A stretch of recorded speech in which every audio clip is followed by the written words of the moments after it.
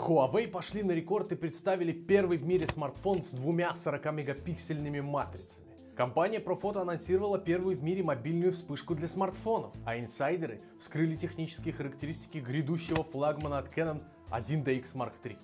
Об этом и многом другом в традиционном видеодайджесте от fotar.ru.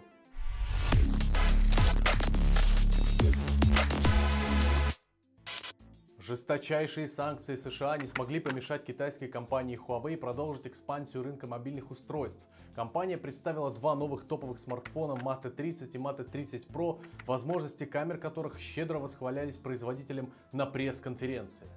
Ну, например, в основную камеру флагманского Huawei Mate 30 Pro установили три датчика 40, 40 и 8 мегапикселей. А также имеется специальный TOF-модуль, позволяющий анализировать расстояние до объекта и создавать программное фейковое боке.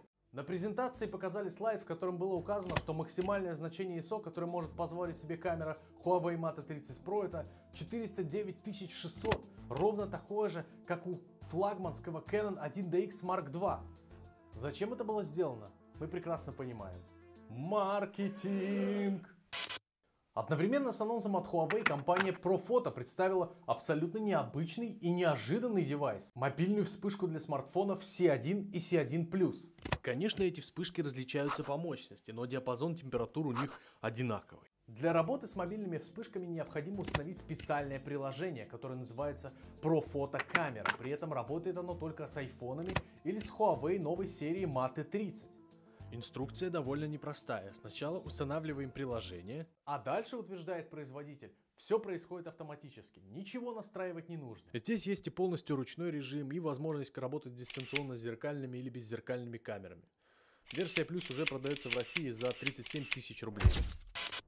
Флагманская зеркалка от Canon, которая, по-моему, всем очевидно, что будет представлена к летней Олимпиаде в Токио в 2020 году, так же, как и Nikon D6 или Sony A9 Mark II, обрастает новыми подробностями. Источник заявляет, что Canon получит 24-мегапиксельную матрицу, новый процессор Digic 8 Было бы странно, если бы в топовую репортажную зеркалку, которая будет стоить от 300 тысяч рублей, поставили бы процессор такой же, как в M50. Должна появиться и матричная стабилизация, патенты на которую Canon регистрирует почти каждую неделю. Интересно, что источники утверждают, будто бы камера будет писать 6К с полного кадра и иметь два слота под CF-Express карты памяти.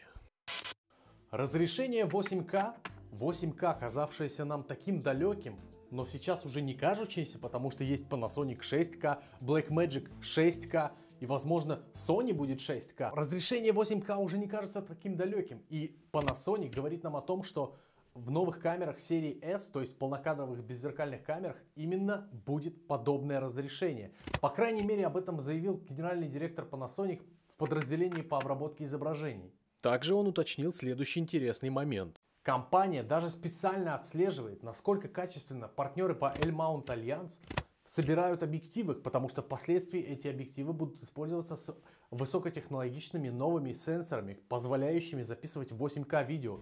8К видео, товарищи, а зачем? Зачем?